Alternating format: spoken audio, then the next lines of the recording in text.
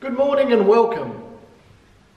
And happy Mother's Day to all the mothers on Sunday. We come to the close of our Jonah series today. If you remember last week, the word of the Lord came to Jonah a second time. Go to the great city of Nineveh, proclaim to it a message that I give you. Forty more days, and Nineveh will be destroyed. The Ninevites believed in God and were saved. Yes, our God of compassion, our God of mercy, our God of grace, towards both Jonah, our reluctant prophet, and the people of Nineveh. So we bring our message series to a close. And if you've got a Bible with you, it's Jonah chapter 4. Let's read that. But to Jonah, this seemed very wrong. And he became angry. He prayed to the Lord. Isn't that what I said, Lord, when I was still at home? That is what I tried to forestall by fleeing to Tarshish. I knew you were a gracious and compassionate God, slow to anger, abounding in love, a God who relents from sending calamity.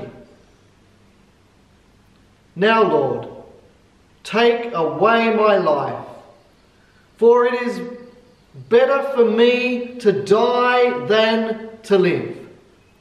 Friends, our mate Jonah, he is a bit of a drama queen. But the Lord replied, Is it right for you to be angry? Jonah had gone out and sat down at a place east of the city. There he made for himself a shelter, and he sat under it in, the, in its shade and waited to see what would happen to the city. Then the Lord provided a leafy plant and made it grow up over Jonah to give shade for his head to ease his discomfort, and Jonah was very happy about this plant. But at dawn the next day, God provided a worm which chewed the plant so that it withered. When the sun rose, God provided a scorching east wind and the blazing sun on Jonah's head so that he grew faint. He wanted to die and said, It will be better for me to die than to live. But God said to Jonah, Is it right for you to be angry about the plant? It is, he said. I'm so angry. I wish I were dead. But the Lord said, You have been concerned about this plant, though you did not tend to it or make it grow. It sprang up overnight and then grew and then died overnight.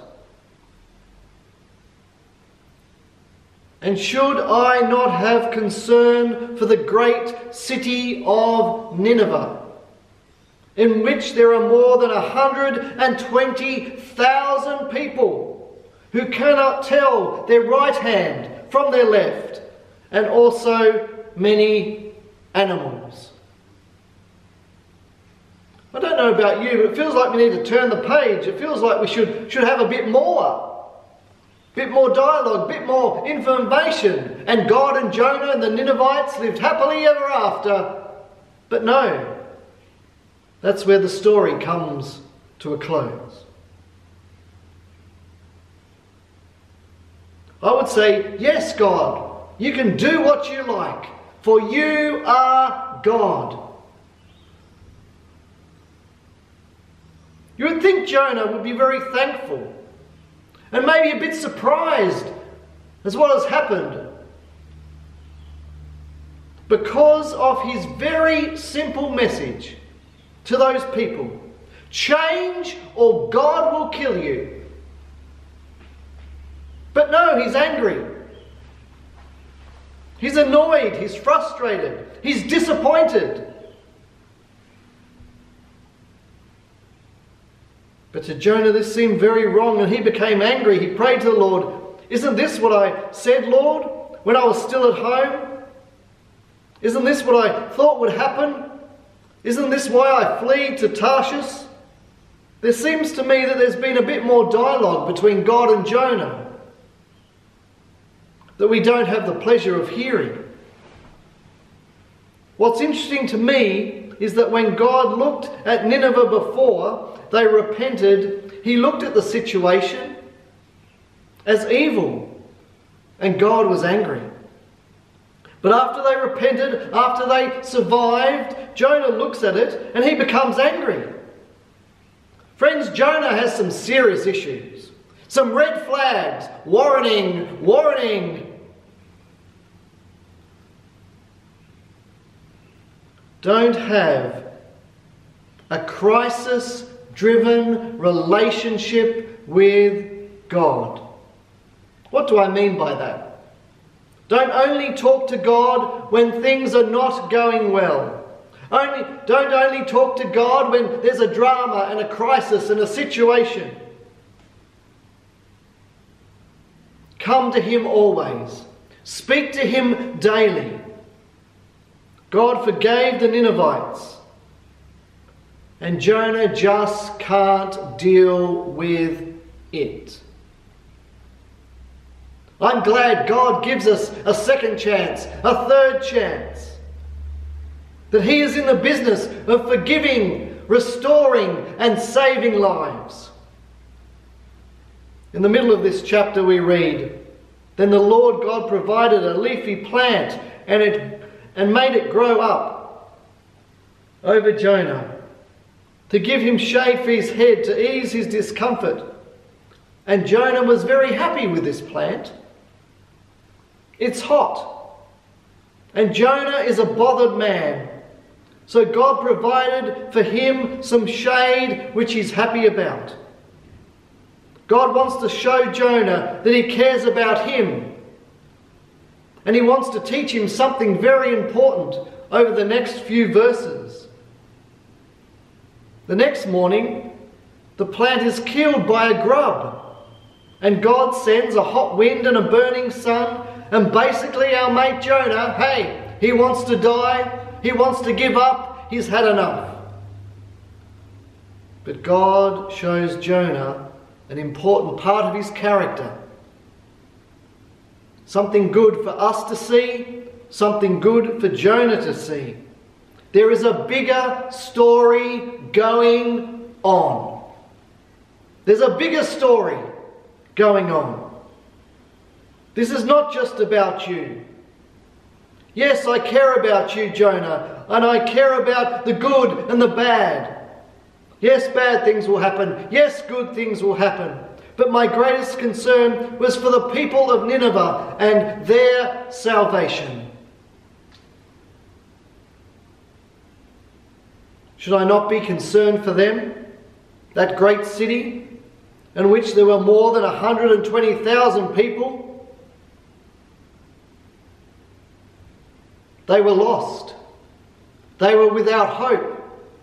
And that's why I sent you, Jonah.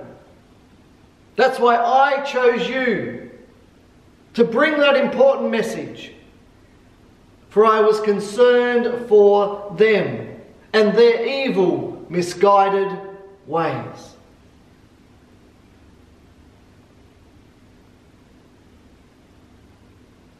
A lot of people are wondering what life will look like over these next few weeks and months as we move from our current situation.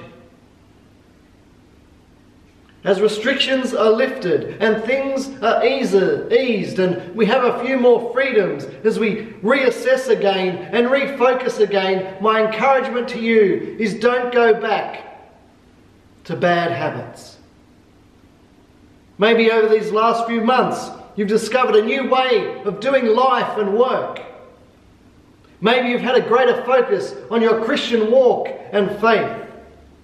As a church community, we've had an opportunity to meet together via Zoom meetings, to engage with one another on different platforms, to have different speak, people speak into our lives and into our situation. It's vital that we reassess and refocus and move forward as a church community, embracing new ways of doing life, new ways of doing community, new ways of worshipping together over these next weeks and months. As we assess, as we refocus, as we move out from our homes and meet together, I look forward to what God will do. Friends, God is the God of the vine. He is the God of the worm. He is the God of the storm. He is the God of the great fish. He is the God of Jonah, and now he is the God of the Ninevites. He's developing patience. He's developing endurance. He's developing you and I into the men and women that God has called us to be. A young child asked his father, How are people born? So his father said, Well, Adam and Eve made babies, then those babies became adults and made babies, and so on and so on and so forth. Then the child went to his mother and asked her the same question. And she replied, We once were monkeys. We evolved into monkeys and then we became like we are now, and then we had babies and, and so forth. And the child ran back to his father and said, Dad, Dad, you lied to me. Mum said we came from monkeys. The father replied, Oh, no, no. Your mother was only talking about her side of the family. What's your prayer today? What's your hope today? What's your concern today? What's your prayer? Maybe it's Psalm 121. I lift up my eyes to the mountains. Where does my help come from? My help comes from the Lord, the maker of heaven and earth. He will not let your foot slip. He who watches over you will not slumber. Indeed, he who watches over Israel will neither slumber nor sleep. The Lord watches over you. The Lord is your shade at your right hand. The sun will not harm you by day, nor the moon by night. The Lord will keep you from all harm. He'll watch over your life. The Lord will watch over your coming and going, both now and forevermore. God, I'm committed to go to my Nineveh to do that hard thing, to make a change, to speak out your message of hope, your message of truth, your message of love and grace and salvation. Stop running, start following. To do that hard thing, to make that change, to go to that place that you're calling us to go.